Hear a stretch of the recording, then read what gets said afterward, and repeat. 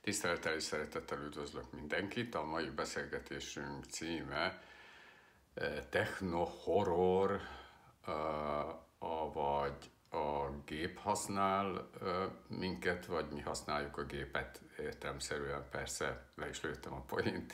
hiszen így kellene feltenni a kérdést, hogy valóban igaz-e, hogy mi használjuk a gépet, vagy esetleg pont fordítva van, ő használ minket az egyik leggyakoribb mém pontosan erről szól, hogy,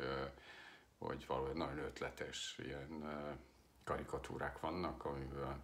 kiderül, hogy valójában már réges-régen nem mi használjuk mondjuk a mobiltelefont, hanem ő húz magával, ő határozza meg, egyáltalán ő határoz meg mindent, anélkül, hogy, hogy ezt egyáltalán képesek lennénk már felismerni, tehát a, függésünk a technikától, a technológiától már teljessé vált. Arra gondoltam, hogy hogy ennek a kérdéskörnek kellene egy kicsit a mélyebb szerkezetébe is belepillantani. Tulajdonképpen szinte mindenből visszaköszön ez az egész kérdés, és valószínű, hogy de ha nem akarok ijesztgetni benneteket ezzel kapcsolatban, hogy ez is megérne azért három beszélgetést, majd meglátjuk. Én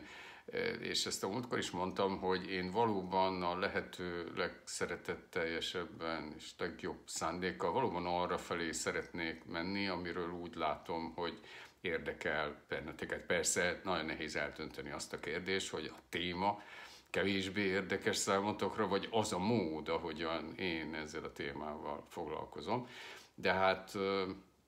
lassan közeledünk a egy bogár naplója egyéves jubileumához, és ez az egy év, azt hiszem, ez a kis szeretett közösség azért öntanító, tehát folyamatosan majd igyekszem minél pontosabban megérteni és átérezni azt, hogy hát igen, szóval miről kellene beszélni. Sokszor elsütöttem már, de most megint ide kívánkozik, tudjátok, többször meséltem, ugye, amikor a ifjú Mopassa arról kérdezte öreg barátját, Flaubert, hogy na, mi az érdekes, miről írjak mester, mert én gazdag és híres író akarok lenni, és hogy mi az érdekes, és erre válaszolta Flaubert az, hogy tudod, fiam, az, hogy valamit érdekesnek találjunk, elég, hogy, vagy ahhoz, hogy valamit érdekesnek találjunk, elég, ha sokáig nézzük. Igazából nincs érdektelen dolog a világegyetemben, abban tökéletesen igazatok van, mint Flaubertnek is, hogy nem mindegy, hogy hogyan tekintünk rá. Most tehát ennyi mentegetőzés. Utána akkor térjünk rá erre a tárgyra, ami talán annak a világnak, amelyben élünk, az egyik legdöntőbb kérdése. Akármiről van szó, veszitek talán észre, most itt van ez a vírus ügy, amiben most egy darabig nem szívesen áltanám be magam, noha valószínűleg nem lesz kikerülhető, hogy újra és újra, tehát rendszeresen visszatérjünk. Ez is azért igen jelentős mértékben technológiai kérdésként merül fel, akár közvetlenül érzékeljük ezt, akár nem, akár bevalljuk, akár nem, hogy, hogy de mikor jön már az a szuper technika, az a high-tech, ami, aminek a segítségével majd leküzdjük ezt is és láthatólag, és hát nyilván, ha nem lenne a Big Tech, szóval ezek a gigantikus inform, infokommunikációs cégek, akkor most majdnem azt mondom, hogy akkor a vírus se lenne, vagy az egész vírus probléma. Persze nyilván lehetne, csak nem tudnánk róla, tehát valójában lehet, hogy le, lenne, csak mivel nem tudunk róla, ezért gyakorlatilag nincs. Egyébként nagy valószínűséggel nem lenne, mert ha ugye Nix ugri-bugri mondta ezt egy most általán meg nem nevezett klasszikus, szóval, hogyha nem lenne ilyen intenzív a mozgás a globális térben, akkor értelemszerűen a járványok is sokkal kisebb valószínűséggel alakulnának ki, szóval sok minden másképpen adott volna, de a egész nyugatias modernitás, az elmúlt 5-600 év nyugatias modernitásnak nevezett létszerveződési módjának leginkább emblematikus vonásáról van szó. Azért is nevezte el magát, maga a szó csak a 19. század óta létezik, kapitalizmusnak, mert hogy ő tőke felhalmozó, de ez a tőke felhalmozás a leglátványosabban a technológiai vívmányokban testesül meg ezért szokták azt mondani, hogy ma a legnyomorultabb embernek is van okostelefonja, és tudom én hány száz vagy ezer évvel ezelőtt a fáraónak, meg a kínai császárnak bezzeg nem volt okostelefonja. Ebből is látszik, hogy milyen jó, hogy ma élünk, mert ma a legszegényebb, legnyomorultabb ember is jobban él, mint annak idején egy fáraó vagy a kínai császár. Most hagyd ne menjek bele, az nagyon ötletes, csak hát végtelenül primitív és demagóg minden ilyen összehasonlítás, majd mindjárt kiderül, hogy miért is miért is létezhetnek egyáltalán ilyen összehasonlító elemzések. De talán a legjobban akkor értjük meg ennek a lényegét, hogyha felidézzük, hát most már nyilván elég régen hallottuk, mert a, a repülőgépes, a légi forgalom is lényegében megszűnt, de talán emlékeztek rá, hogy ugye a stewardess kisasszonyok rendszeresen úgy vezetik be a mondandójukat, amikor kérnek tőlünk valamit, vagy hát utasítást adnak, hogy for your personal safety and comfort, vagyis az ön kényelme, az önök kényelme és biztonsága érdekében. Ez a két kulcs szó. Tehát a nyugatias modernitás legfontosabb kifejezései szerepelnek ebben a mondatban, nyilván nem véletlenül, a légi közlekedés az egyik legfantasztikusabb technológiai, a tömeges légi közlekedés legfantasztikusabb technikai vívmány. Szóval for your personal safety and comfort, az ön kényelme és biztonsága érdekében. A nyugatias modernitás azt ígéri, hogy kényelmesen és biztonságban élhetsz, és ezt a technológia, hát a tőkefelhalmozás, a profitra épülő tőkefelhalmozás, és a, mint a tőkefelhalmozás döntő fontosságú eleme, a technológiai fejlődés teszi eh, lehetővé. És ez a felszínen valóban igaz is, senki nem tagadja, hogy eh, akár most mondjuk a gyógyításban is persze fantasztikus technológiák, csak azon kéne elgondolkodni, hogy ezek a technológiák nagyon sok esetben, elképzelhető, hogy minden esetben bebizonyosodna, valójában olyan igényeket, olyan szükségleteket elégítenek ki, amely szükségletek hát nem is biztos, hogy kialakultak volna abban az esetben, ha nem ez a létszerveződési mód létezne. Vagyis valójában egyre inkább erősödik bennünk a gyanú, hogy ez az egész nyugatias modernitás úgy működik, hogy ő maga hoz létre nagy ravaszul olyan szükségleteket, amelyeket aztán, surprise, surprise, megdöbbentő módon csak, csak is ő tud kielégíteni. Ezt egyébként magát a jelenséget valójában már a 18. század filozófusai is felismerték, és Hegel nyomán szükséglettermelésnek a 19. század második felében többnyire szükséglettermelésként fogalmazták meg, és ez valóban így is van. Ha a nyugatias modernitás valójában a fizikai gyönyöröket, szükségleteket kielégítő anyagtömeg szakadatlan felhalmozására épül, mert arra épül, lássuk be, más terve nem nagyon van a világgal, akkor ez nem is meglepő, sőt teljesen természetesnek tekinthető, hogy aztán mindettől, hogy ilyen végtelen avit fogalmat használjak, boldogabb lett az emberi létezés. Hát igen, ezen mostanában azért azt hiszem, hogy érdemes lenne, nagyon ezt tesszük többnyire, itt a, egy bogár naplójában is elgondolkodni. Vagyis mindaz a felfoghatatlan technológiai fejlődés, itt a fejlődés szó, ezt már többször említettem, hogy nem véletlenül tűnt el gyakorlatilag a szóhasználatból is, mert mindenki érzi, hogy gay, szóval haladás, fejlődés, stb. Szóval egyáltalán nem az a konnotációja ma már, mint mondjuk 50 évvel, vagy pláne 100 évvel ezelőtt volt. A gyanú már azért mindenkiben ott fészkel azzal kapcsolatban, hogy tudjuk egyáltalán, hogy mi az, hogy fejlődés, és lehet-e fejlődésnek nevezni azt az elképesztő lelki, erkölcsi és szellemi leépülést, ami egyébként pont mondjuk az elmúlt évtizedekben végbe megy az egész világon, Európában, és lássuk be, akármilyen fájdalmas ezt kimondani, a, a magyar társadalomnak nevezett komplexumban is küzdünk azért, hogy megértsük, hogy ez miért van így, és ha lehet, megpróbáljuk legalább lassítani ezt a folyamatot, vagy adott esetben, ha nagyon reménykedők vagyunk, visszafordítani is. Az, az, az a valami, ami felvilágosodásnak nevezi önmagát, arra hivatkozik, hogy az ész és erény. E, és ez rendben is volna, az ész hozza létre ezt a technoevolúciót, azzal az ész az, az akarat, az a, az, a, az a képessége az ember, hogy képes elgondolni valamit, ami még nincs, megjelenik a képe, vagyis, hogy a szabad gondolat, az ész szabad. Az, hogy mekkora ez a szabadság, az megint nagyon messzire, itt sok leágazás lesz majd, eddig is volt, meg sok lesz, de ez az a valami, ami az elgondolhatóság, a szabad elgondolhatóság, és akkor ezt, követ, ezt követi a megvalósíthatóság, és akkor az ember hihetetlenül büszke és boldog, hogy milyen okos voltam, mert képes voltam elgondolni valamit, ami eddig nem volt, de most már van, mert hogy meg is tudtam valósítani, és elégedetten hátradől, és ezzel hübrisz, ugye, a végtelen elbizakodott ember, hihetetlen veszélynek teszi ki magát. Tudni, van egy harmadik típusú szabadsága is az embernek, és a technoevolúció egyre fenyegetőbb zsákutcája valójában erre figyelmeztet, és ez a folytathatóság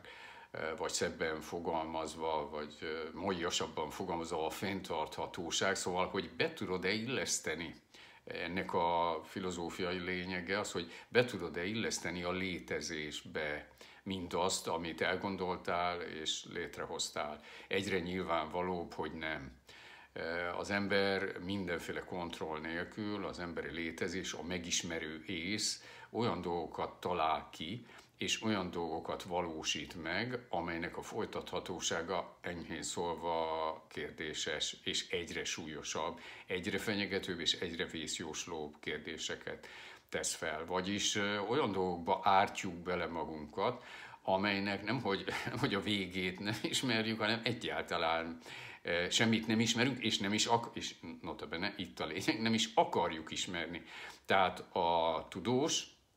és a technológus, mérnök azt mondja, nem, it's not my business, de nem rám tartozik. Dürrenmatt híres műve, itt van a hátam mögött valaki fel is fedezte, itt vannak a régi könyvek, emlékeztek talán még a híres Fizikusok című drámájára, ami arra hívja fel a figyelmet, hogy az ész erény nélkül, erkölcs nélkül életveszélyes irányokba tudja vinni az emberi létezést a tudós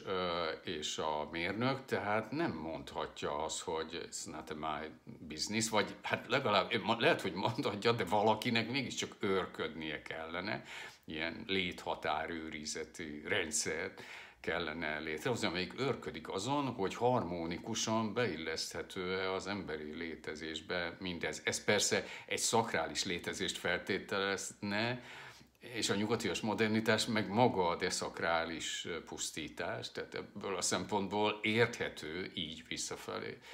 tekintve már érthetővé válik, hogy miért is szakította el a magát felvilágosodásnak nevező tudatos elsötétítés, az erény hivatkozik rá, azt mondja ész és erény, csak valahogy az erény, mintha elsikkadt volna. Az ész persze, tehát a megismerő ész, az elgondolhatóság, és a megvalósíthatóság az kontroll nélkül bármit megtehet, anélkül, hogy végig kéne gondolni azt, hogy ez majd hogy illeszthető be az emberi létezésbe. Itt újra elpanaszolom azt,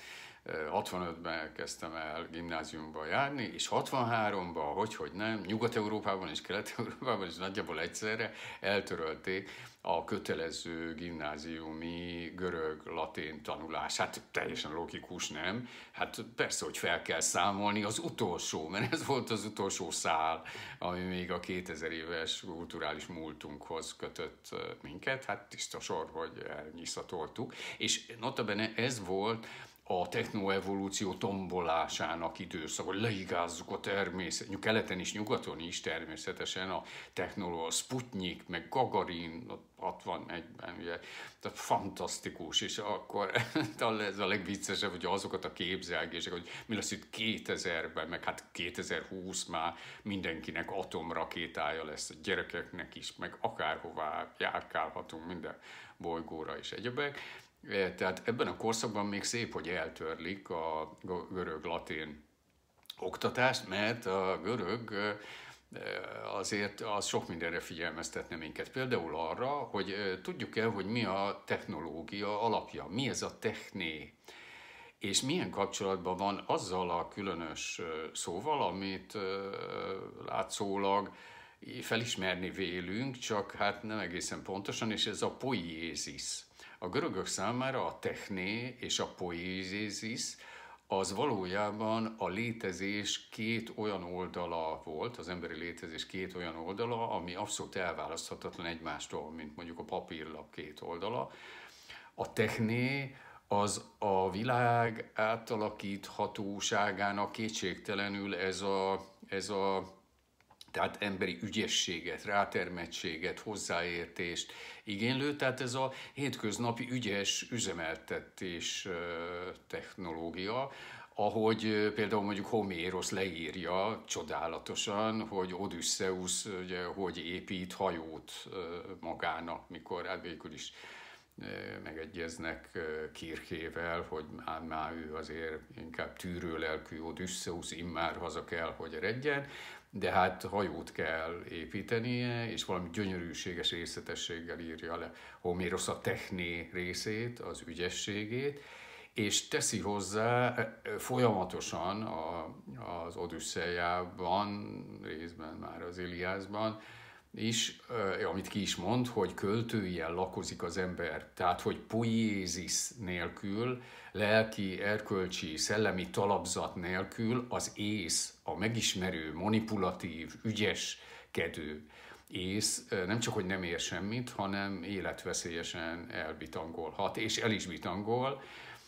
az anyag, az élet és a lélek jelenti számunkra a létezés három alapvető szintjét. Valójában természetesen ugyanarról van szó, csak mi ezt ilyen analitikusan elkülönítjük egymástól. Az élettelen természet, az anyag, az élő természet, vagyis az élet, és az emberi természet, a lélek, és ezt erőszakoljuk meg. A hybris, az elbizakodottság, a for your personal safety and comfort, a biztonság és kényelem igézetében beavatkozunk hackerként átgondolatlanul az anyag legmélyebb szerkezetébe,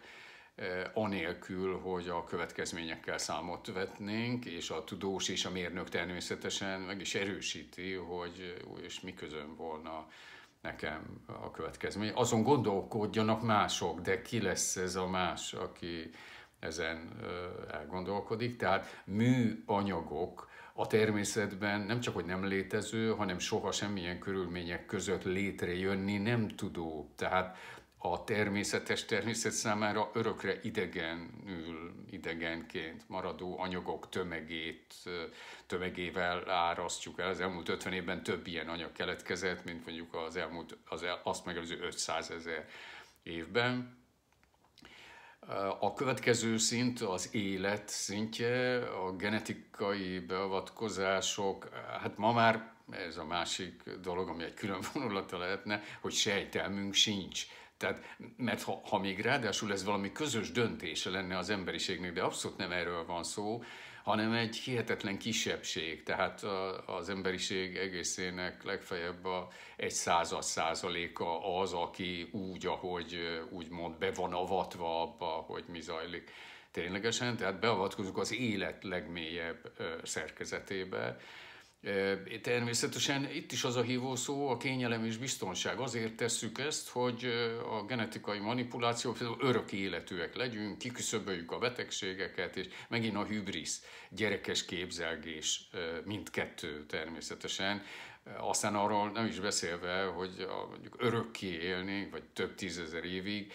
Szóval ez az emberiség, tehát nem tudom, tetszik-e érteni, tehát ez az emberiség, ami éppen a saját életét rövidíti meg most is, tehát a legkülönbözőbb gyűlöletekkel, acsarkodásokkal, eszelős és ön, ön és közpusztító elméletek és szellemi áramlatok tucatjaival teszi tönkre, számolja fel a saját létezését is, amelynek az okai pontosan erre a tragédiára, az ember tragédiára vezethető vissza. Ez, ez most éppen már, már öt perc, még öt perc, és el is érünk ahhoz, hogy mindenki örök életű lehet. Egyszerűen megmosolyogtató és szívbe markoló ez a igyekezet. Tehát nem tudjuk, hogy hova vezet a műanyagok tömegének, az anyag szerkezetébe hackerként, átgondolatlanul, cinikusan, brutális beavatkozásunk, ugyanez az élet legmélyebb szerkezetébe. A lélek szétroncsolása már csak habatortán, a big tehát ez a valóságipari művek, ahogyan a utóbbi néhány beszélgetés során említettük, valójában az ember lelki, erkölcsi, szellemi lejtőjét elősegítendő, roncsolja szét, eh, és teremt, teremti meg a mű ész és a mű léleknek azokat a brutális és valóban horrorisztikus eh, formáit, amelyek egyre inkább degeneratív irányba viszik az egész emberi világot, és akkor eh, azért tegyük említést erről is, csak óvatos leszek, mert nyilván senkit nem akarok megbántani, az egész mesterséges intelligencia, amiről persze azt kell gondolnunk, hogy ez csodálatos, és az a bizonyos szingularitás, ami majd egyetlen pontba vezeti vissza az emberi világot, mondjuk 20 éven belül, egyetlen olyan pontra, ahol tulajdonképpen nem is lesz szükség emberre. Hát ez a különös, hogy az arcunkba is tolja, hogy szingularitás, vagyis hát ez legjobb esetben érthetjük úgy, hogy ez azt jelenti, hogy hogy az embert felváltják a gépek, de nagyon jó lesz, mert akkor mindenki kellemesen szórakozhat, játszhat, és a gépek meg, hát ilyen is elképzelhető, de ha körülnézünk ebben a világban, hát nagyon nem ebbe az irányba haladnak a dolgok. Sajnálom, hogy így a végén ezt már csak ilyen összecsapva lehet. Ha, ha mutattok érdeklődést a téma iránt, vagy, és csak hát én nehezen teszek distinkciót, a téma felvezetésének azon módja iránt, ahogy én erről beszélek, akkor ezt az egész kérdéskört, tehát a mesterséges intelligencia kérdéskörét önálló, önállóan is vizsgálattárgyává tehetjük, hiszen egy horrorisztikus elképzelés szerint még az sem teljesen kizárható, hogy ez bekövetkezik, és akkor tulajdonképpen ez a globális mesterséges intelligencia köszönetet mond az embernek azért, hogy egy biológiai evolúció nyomán eh, a biológiai alapon működő ész, tudás, intelligencia az világra segítette őt, mármint ezt a mesterséges intelligenciát, és akkor mindezért köszönetet mond, és sajnálattal közdi, hogy de hát innentől kezdve nincs is már rá, rád szükségem. Tehát volt az élettelen természet, abból jött, létrejött az élet, az élet létrehozta harmadiként az embert, az intelligenciát, ez megteremtette a mesterséges intelligenciát, és most a mesterséges intelligencia kedvesen egyébként köszönetet mond mindezért, és hát nem létezőnek minősíti, és hát nyilván ezt